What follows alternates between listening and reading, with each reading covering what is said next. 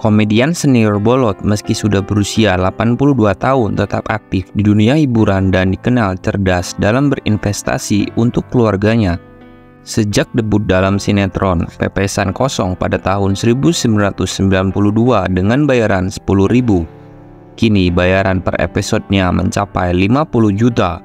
Selain itu, Bolot memiliki 142 unit kontrakan bisnis laundry yang dikelola istrinya dan usaha pemancingan.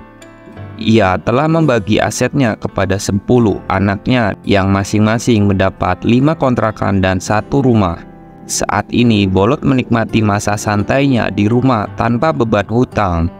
Bolot adalah contoh komedian yang berhasil mengelola karir dan keuangan dengan bijak. Di usianya yang sudah 82 tahun, ia tidak hanya tetap eksis di dunia hiburan, tetapi juga memastikan masa depan keluarganya melalui investasi cerdas seperti properti dan bisnis. Ini menunjukkan bahwa kerja keras dan manajemen keuangan yang baik bisa memberikan stabilitas dan kesejahteraan di masa tua